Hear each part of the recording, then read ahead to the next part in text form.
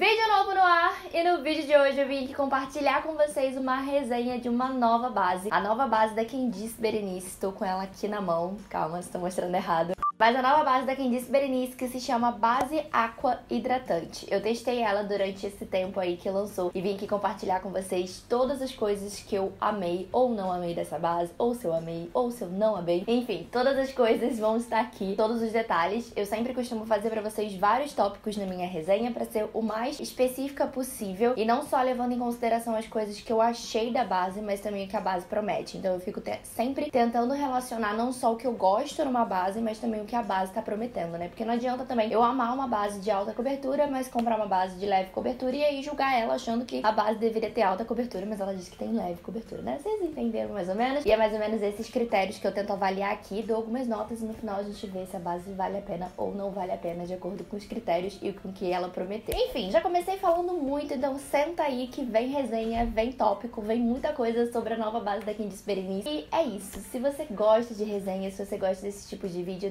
deixe seu like aqui pra mim que é super importante e bora lá começar. E as coisas que a base promete: uma hidratação profunda, um acabamento natural, textura leve, diz que não marca os poros e as linhas de expressão, uniformiza o tom de pele, tem uma cobertura hidratante até 8 horas, FPS 15 e ela é específica assim para peles sensíveis porque e também ela estimula a produção de ácido hialurônico.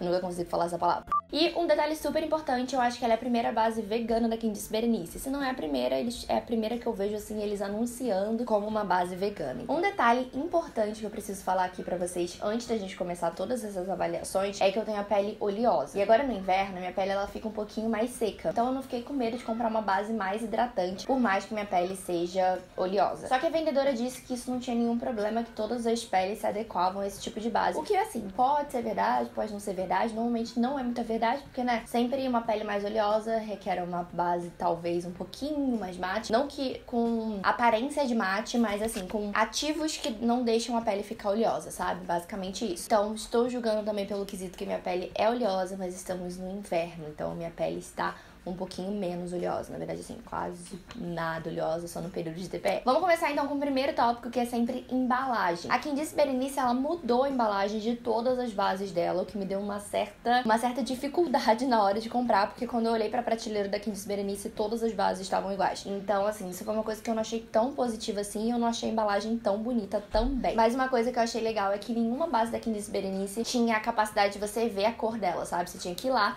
e ver uma cor. Eu acho que esse ponto de você não conseguir ver a cor era uma reclamação não só de influenciadoras aqui na internet, como também dos consumidores, né, das pessoas que davam esse feedback pra marca. Então talvez eles tenham mudado essa embalagem por conta disso. Mas uma coisa que eu achei não muito legal é porque todas as embalagens de todas as bases estão iguais, no mesmo formato, no mesmo design, então assim, Achei isso num ponto não tão positivo, porque se você, por exemplo, tem a mesma base da Candice Berenice, as três, quatro bases que eles oferecem, você vai ficar lá loucamente procurando qual é a sua base, né? Então eu vou dar nota 4 pra embalagem só por causa dessa questão. Eu achar que facilitou, mas ao mesmo tempo não facilitou tanto, sabe? Então fica aí com 4, que tá uma nota boa, né?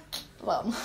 Próximo quesito é a aplicação, e é nesse quesito que a gente pode comparar algumas coisas que eles prometem na hora. O que eu achei dessa base é que ela tem uma textura assim mais grossinha. Ela tem uma textura que beira quase um gelzinho, sabe? De tão grossinha que ela é. Só que ao mesmo tempo, ela tem uma textura assim bem leve, bem gostosa. O fato dela ter uma textura mais grossinha, quase que beirando, sei lá, não chega a ser um gel, mas uma textura mais grossinha beirando o gel, você consegue aplicar ela muito fácil, justamente por causa dessa capacidade hidratante, desses quesitos hidratantes que ela traz junto com ela, sabe? Espalha muito fácil na pele, espalha super rápido e de uma maneira que você consegue realmente deixar o seu rosto uniforme de, de forma ok, sabe? De forma rápida. Só que ao mesmo tempo, uma coisa que eu achei muito ruim é que eu senti que você precisa de muito produto para você conseguir esse essa textura completa da pele, esse acabamento completo da pele. Por mais que não seja difícil de você cumprir ele, você precisa de bastante produto para você conseguir cumprir essa uniformidade de uma maneira mais completa, de uma maneira melhor, sabe? Então, eu acho que precisa de muito produto para você conseguir essa capacidade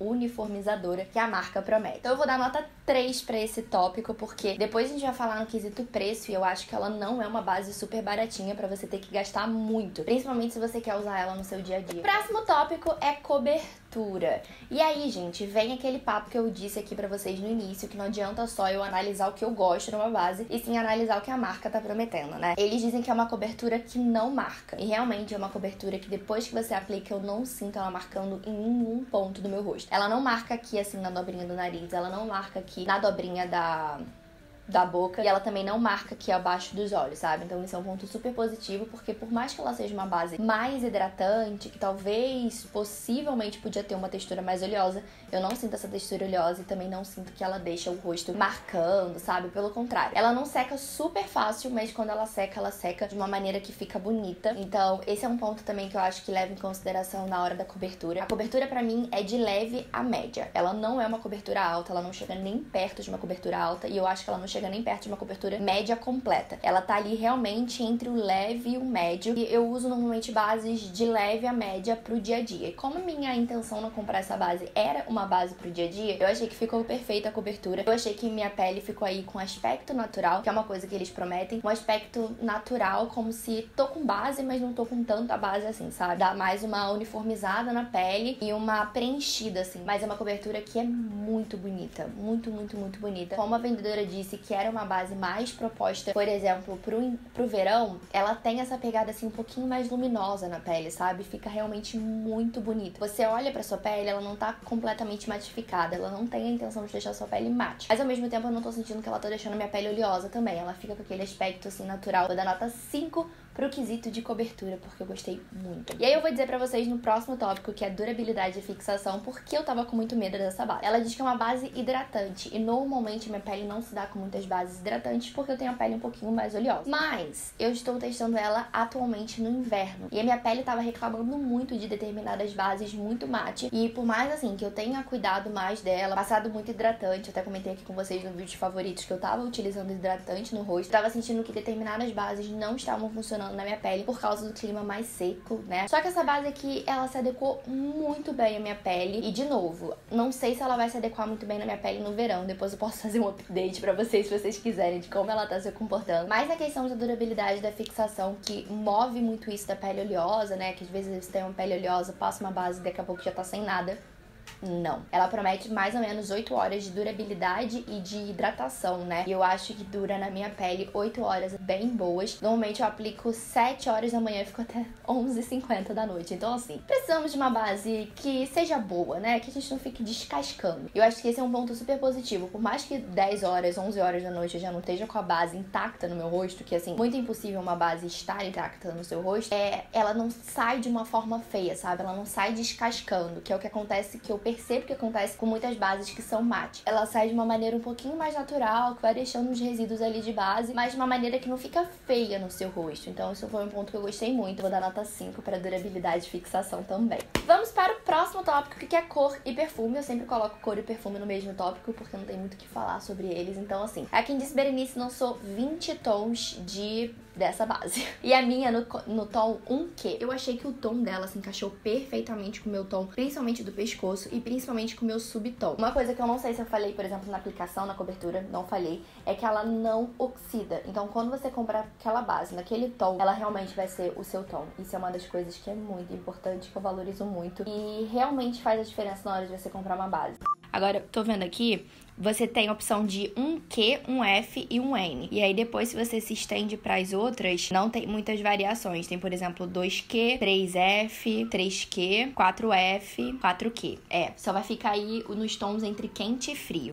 Eu acho uma boa quantidade, não é uma quantidade incrível, maravilhosa, tipo 40 tons de base, mas é uma, uma base, uma cartela representativa, sabe? E, por exemplo, eu que quase nunca encontro meu tom, consegui encontrar meu tom. E no quesito de perfume, ela não tem cheiro nenhum, pelo contrário, ela tem cheiro de todas as outras bases da Candice Berenice, que é meio que um cheiro sem cheiro, sabe? Então, nada demais, não interfere, não é uma coisa que me incomoda de longe, de, de nada. Então vou dar nota 5 para cor e perfume. Próximo tópico, o último tópico é preço. Eu falei para vocês que eu ia falar um pouquinho melhor sobre preço e foi um tópico assim que me deixou principalmente meio na dúvida na hora de comprar, porque essa base custa R$ 59,90 e ela tem só 30 ml. Quando você olha para ela, você fala assim: "Tem nem 30 ml nesse negócio, deve ter uns 15" e a gente tá comprando Louca, né? Já estou muito pão dura recentemente. Meu Deus, o que que tá acontecendo? Mentira, mas foi um produto que me surpreendeu muito e com certeza, assim, eu compraria de novo, pelo menos nesse momento agora que eu tô testando, sabe? Foi um investimento que valeu a pena. Só que ao mesmo tempo, por mais que eu esteja gostando muito dela, por mais que vários tópicos aqui, por exemplo, receberam nota máxima, e por mais que eu indique compraria de novo, eu achei um preço caro. E eu continuo achando um preço caro. Eu acho que ela podia beirar aí uns 49, 10 reais no barato já tava bom, já dá pra gente comprar um sorvete.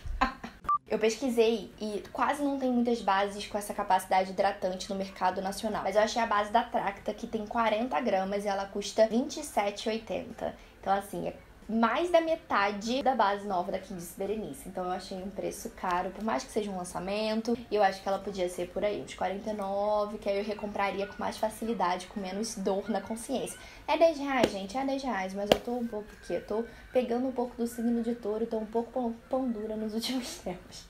Mas enfim, vou dar nota 4 porque eu achei que podia ser um pouquinho mais, mais barata comparada principalmente às outras marcas nacionais. E é isso, gente. Eu espero muito que vocês tenham gostado desse vídeo, gostado dessa resenha. Se você quiser que eu faça resenha de outro produto, deixa aqui embaixo nos comentários que eu compro, testo e compartilho aqui com vocês. E me contem também se você já testou essa base, que eu quero saber todas as avaliações de vocês, porque às vezes tem algumas coisas que eu falei aqui que você não concorda, ou algumas coisas que eu não falei aqui que você acha que seria importante de contar. Que aí ajuda todo mundo também a ter a melhor experiência na hora de comprar base, né? Então, deixa aqui embaixo nos comentários e a gente se vê no próximo vídeo. Até lá!